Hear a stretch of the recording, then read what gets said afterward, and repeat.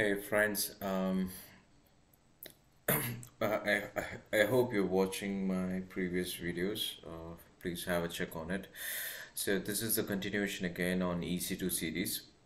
Well, today I'll talk about how to connect to the EC2 instance using uh, PEM and PPK format. Uh, in case if you guys are using uh, Windows 10 or Mac uh, or Linux, I'm talking about the Linux from the GUI, uh, uh, also from the uh, CLI or uh, text. Um, so mine is, if you see my screen, mine is uh, Windows 11. So mine is Win version, yeah, Windows 11, the new one, uh, which I've got. So there are two ways of connecting it. The older way is uh, if you're using uh, you know less than Windows 10, for example, Windows 8 or Windows 7, you have to do some kind of uh, step. I think I've already explained in my previous videos how to convert a you know PEM to PPK file and you have to download the PuTTY and PuTTY keygen and all those things. But if you're on to Windows 10 and Windows 11, there is an easy way of doing it. First, what I first what I normally do is um, I'll come here and then I'll click on EC2 and then um, I'll just go for uh, EC2 key pair. Dashboard key pairs here and then I'm gonna I'm gonna create a new key pair. So so I'll just mention demo demo key pair PEM something like this. And then I'm just choosing PEM okay? So just remember PEM is uh, you can use this PEM if you're using Windows 10 or Windows 11 or Mac or um, any kind of CLI Linux CLI uh, if you're using PPK here it means that you're using uh, an older version of Windows for example Windows 8 or Windows um, 7 okay? So I'm using Windows 11 so I'm just hitting dot .pem and creating a new key pair and then automatically a new key pair will download it in a dot .pem format. It will be in my downloads folder.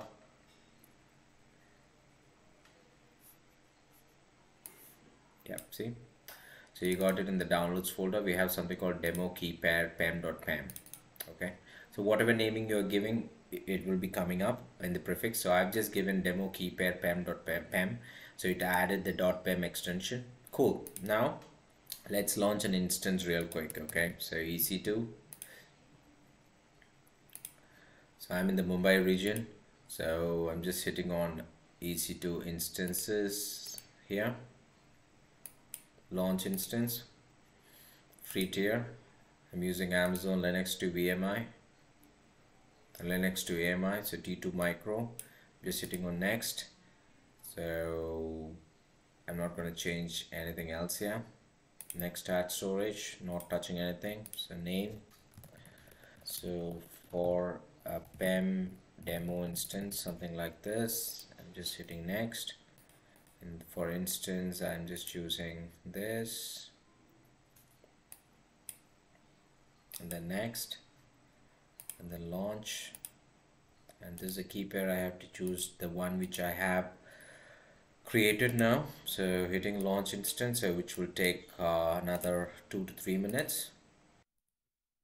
Okay so let's say over there the instance is up and running. Yep we got the instances up and running now what you have to do is um, you have a connect button here click on connect and there is something called SSH client okay hit on the SSH client and then you can see it would ask you for the uh, list of the steps like open an SSH client, locate your private key, the key you use to launch this instance in this and run this command, blah, blah, blah, blah, blah. Okay.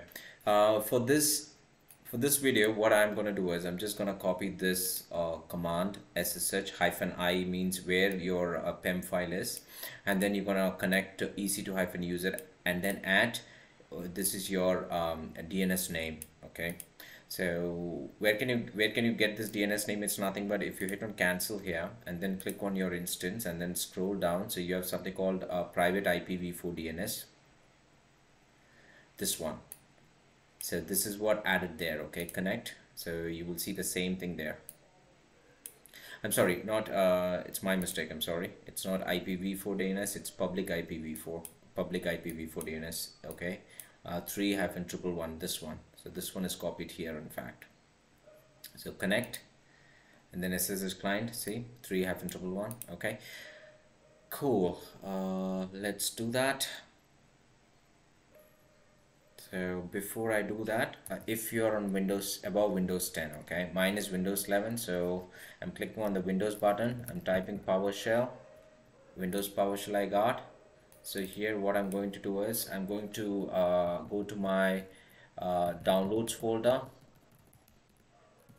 So this is where I have downloaded my uh, new key which is demo key pair pem.pem so I'm gonna type ssh okay hyphen i and then uh, demo key pair.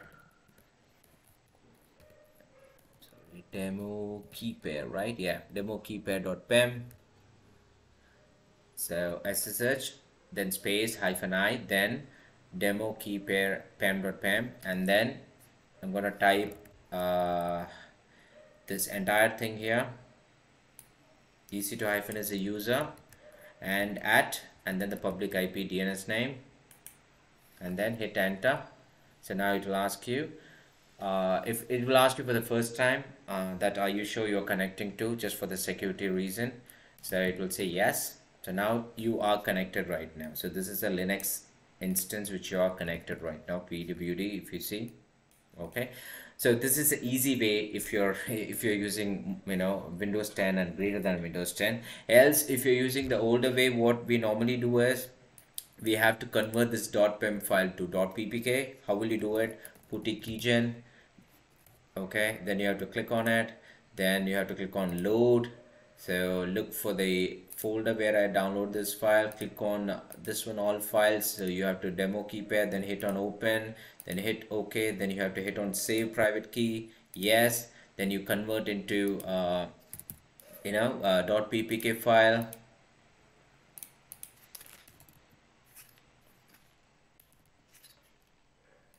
So you have to convert this into .ppk file. Close it. After that you have to go to putty then you have to connect it.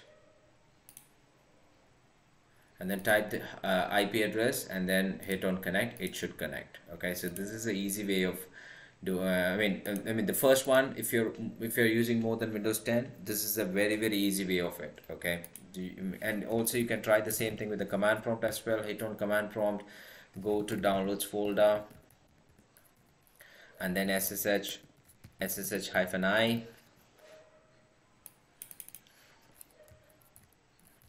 demo key pair and then ec2 hyphen user.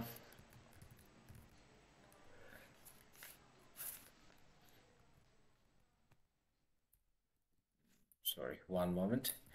So I'm gonna copy the same thing. Uh, is this one? Yeah. So let me copy this. Then I'm going to command prompt ssh enter. So now see it is logged in now so right now I'm just logged in from my command prompt okay? This is not using putty or something. So this is through command prompt. So this is as easy easy as it is okay? Thanks guys